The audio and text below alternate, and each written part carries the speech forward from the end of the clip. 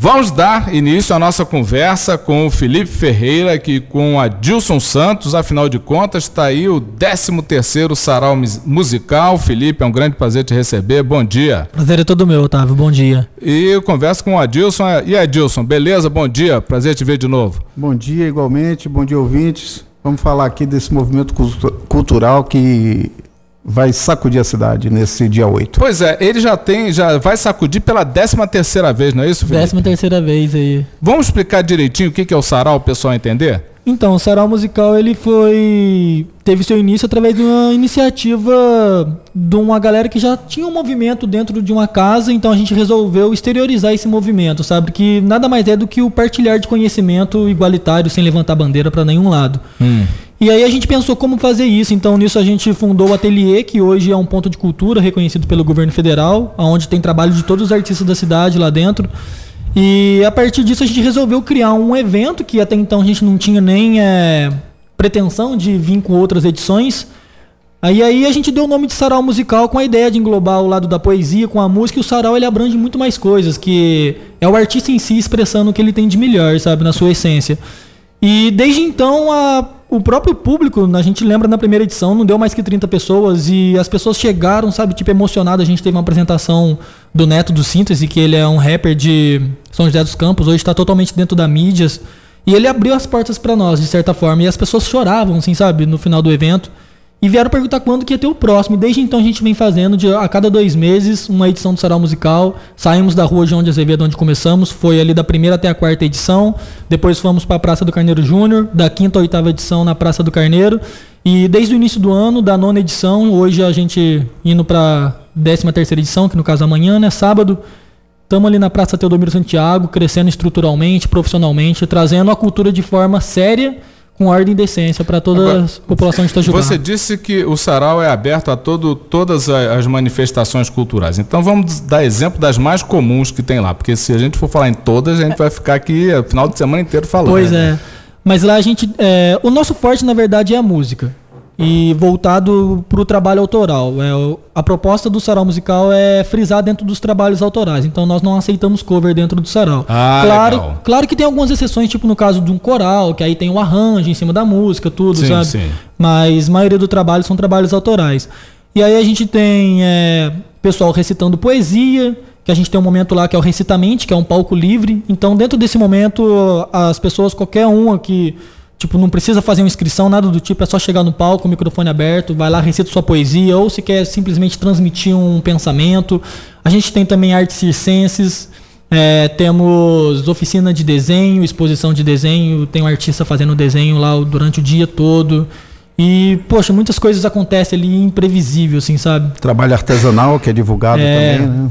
Então já aconteceu certas coisas no sarau assim que tipo a gente olhou tipo uma criança de 7 anos de idade pegar o microfone e começar a trocar ideia com as pessoas, sabe? Hum. De todo mundo se emocionar. Então a gente quer trazer um profissionalismo, uma seriedade, mas a gente não quer engessar isso e ficar isso tudo tipo muito rotulado, sabe? Um tipo um entretenimento cultural na cidade, um evento musical ou poético ou, enfim, qualquer julgamento desse. Ele fica aberto. Fica aberto. A gente quer manter essa essência que quando acontecia na rua, com a interdição, as pessoas sentadas na calçada, sabe? A gente quer manter essa essência numa praça central da cidade, mas com toda uma estrutura profissional, com todo um suporte. Não, entendeu? mas assim, tem algum, o, o, tem algum tipo, Adilson, de seleção porque se você abre o microfone, pode. Pra, o palco pode acontecer é até outras coisas lá, né? É, a palavra seleção também fica um. A gente até estava tá, conversando ontem sobre isso, Tem sobre um curador engessar. para é, o a, a gente, a, quem acaba se envolvendo com, com o projeto, acaba descobrindo qual é a essência. Então, ah. quem está lá, via de regra, já participou de outras edições, ou já viu como funciona e acaba entrando, digamos assim, na linha do que é a essência do sarau. Não, não, então, sim, assim, se você quiser, qualquer pessoa pode não. aparecer lá e ah, quero subir no palco e falar. Vai Isso. lá, mas via de regra, essa pessoa a gente também já conhece. A gente já sabe que é uma pessoa ah, que está tá envolvida, que, que aceitou exatamente qual é a ideia do sarau. Quer dizer, então tem assim um, um, alguns cuidados, é, né? cuidados sim. Mas Esse... assim, Otávio, é, eu vou ter a liberdade de expressar algo que é um tanto íntimo assim da galera do sarau, da parte de, da organização, mas a gente não levanta bandeira por nada, sabe, cara? Por Sim. partido político, por algum tipo Sim. de crença. Mas nós lá do ateliê, nós temos a nossa crença espiritual, entendeu? Ah. E a gente faz todo o sarau em, em cima dessa crença, sabe? Que é tipo de fazer as pessoas acordarem interiormente, Aham, sabe? Só que nós não vamos pregar uma religião, sabe? Tipo um mestre lá para as pessoas seguirem. Só que tudo isso a gente carrega durante constante, diariamente, sabe? Essa energia. E a gente vê que essa energia no dia do sarau, ela tá lá presente. Então, é, existe um, res- um respeito recíproco muito grande, é, tanto do público com os artistas, com a organização. E parece que essa energia faz o sarau acontecer, sabe? E muitas coisas dão errado porque nós não temos verbas, a gente faz o sarau de maneira, sabe? Tipo, No peito, né? No peito, cara. A gente tá lutando pra conseguir algo realmente sólido, sabe? Mas até então não. É muita, tipo, é, dificuldades que nós passamos. Mas quando chega o dia do sarau, a gente olha e fala, poxa, quem olha acha que tem, tipo, milhares, assim, investidos, Uma sabe? estrutura fenomenal por trás Não, tal. é E é um muitas negócio pessoas muito de bom louco. coração né? que tá Muito entendendo a proposta e tá se unindo a isso. Agora, é, quais são as atrações? O, o sarau vai acontecer nesse sabadão, a partir das 10 horas da manhã, na Praça Teodomiro Santiago, não é isso? Exatamente. Exato. E aí, o que, que você tem como atrações aí? Básicas. Bom, a gente vai ter dois tons, que é a Rafa Novaes com Carol, trabalho autoral maravilhoso aí das meninas. O que mais é o que? Música? Música. Música. Tá. É, não dá pra enquadrar dentro de um estilo porque é muito algo delas, assim, então não tem como eu falar tipo que é um rock, que é um MPB. Não, não, mas é música. Isso, não, é, não é música. dança, não, é exa- sim, pintura. música. Aí a gente vai ter Three Birds, que Música. é música também, é Filhos do Bem, música, samba rock, a galera vai estar apresentando seu trabalho autoral. Aí nós vamos ter Paloma do Vale vindo lá de Pouso Alegre, vai fazer uma performance poética teatral. E para É. quem não conhece, a Paloma do Vale é uma, uma, uma artista aí já reconhecida na, na mídia, né? inclusive com trabalhos globais até. Né? Legal. Aí nós vamos ter também a galera do rap aí na Batalha do Conhecimento. A Batalha do Conhecimento ela funciona tipo em cima de um tema e um MC batalha contra o outro ali 40 segundos e a- o melhor improviso dentro do tema vai tipo tendo mata-mata até chegar no final. A gente vai ter a galera do ângulo aí, as crianças, vai estar fazendo um coral e uma performance de arte circense. Folia de Reis Fulô da Mantiqueira. Aí a pessoa do Ronaldo. Um aí, tá abraço, pra Ronaldo, gente, obrigado mais uma vez. uma força bem bacana pra nós também. É a folia lá do São Pedro. Isso, exatamente. Aham. Aí eles vão fazer um cortejo na praça, Legal. passar nos comércios ali, Legal. tipo, fazer a cultura mesmo deles. A gente vai ter Duo Blues, que é um instrumental de blues, gaita e guitarra. A gente vai ter o Thiago Elninho, que é MC lá de Volta Redonda. Escopel e Marli, dança de salão, vai estar apresentando lá conosco também. E fechando a noite a gente vai ter o pessoal do Amplexos, que é a atração esperada. Tá vindo van de Poço de Calda, Santa Rita, pra assistir os caras. Um trabalho musical, assim, incrível. que eles- Fenomenal. 12 anos de estrada já, reconhecimento muito assim respeitoso e vai ser tipo show mesmo esse sarau, cara. Já, Dois anos já bem tá no segundo ano? Di- Segundo é ano. direto aqui na praça? Então, como eu te disse, começamos lá na rua João de Azevedo. Sim, é onde fica o ateliê. Exatamente. É, dá o endereço do ateliê, o pessoal se, que, que gosta, quiser participar lá mais intimamente. Sim, com certeza, as portas estão abertas para isso mesmo. O ateliê ele fica na rua Dr. João de Azevedo, número 264. É, para quem não sabe, é a rua ali da Sulina Vidros, que vai para rodoviária.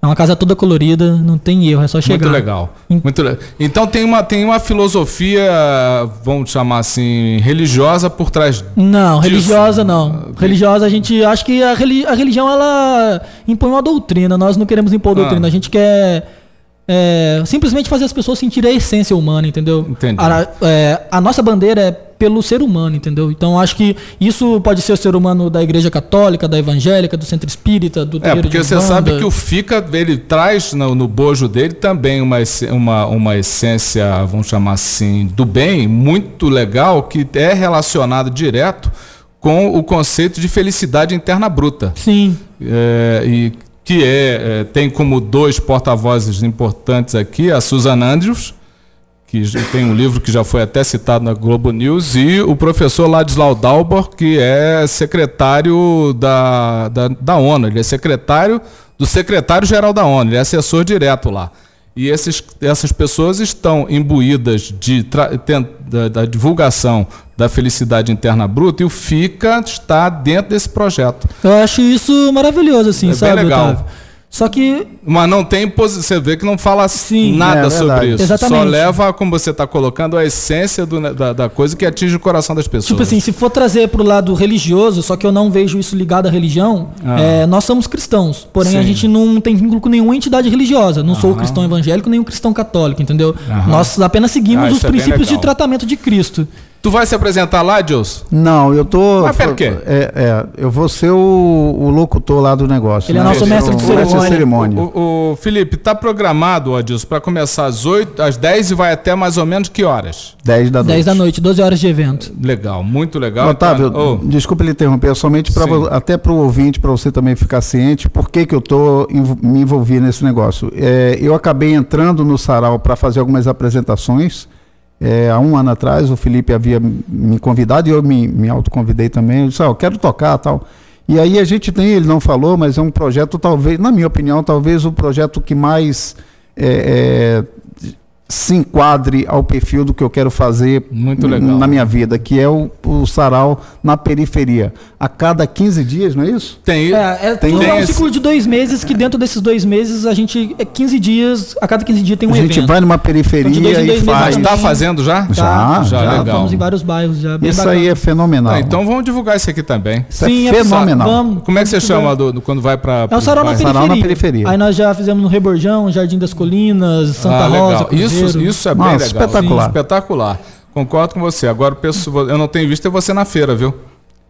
Orgânica. Eu estou só organizando, eu organizo e aí. não eu... estou vendo você na feira orgânica, então faça favor de aparecer lá. O pessoal está sentindo sua falta. Verdade. Adilson, valeu. pô, sempre um prazer te ver aqui. Felipe, olha, e parabéns por estar participando desse Obrigado. projeto. E Felipe, ó, é sempre um prazer estar divulgando esse negócio aqui, esse, esse grande evento. 13 terceiro Sarau Musical. É, dois anos e quando for fazer o, o sarau da periferia, faz favor de Com avisar. certeza, é, tá um legal? toque, a gente Combinado? vai vir aqui com o maior tá aí, então, dia 8 de outubro, sabadão, a partir das 10 da manhã até as 22 horas, 13 terceiro sarau musical. Dois anos, lá na Praça Teodomiro Santiago. Não existe amor sem a unificação das tribos, o nosso slogan. Isso é muito legal. A entrada franca, né? É, exatamente, melhor de tudo. Literalmente. É isso aí, gente. Valeu, obrigado. Conversei aqui com o Felipe Ferreira e o Adilson Santos e o assunto foi sarau musical.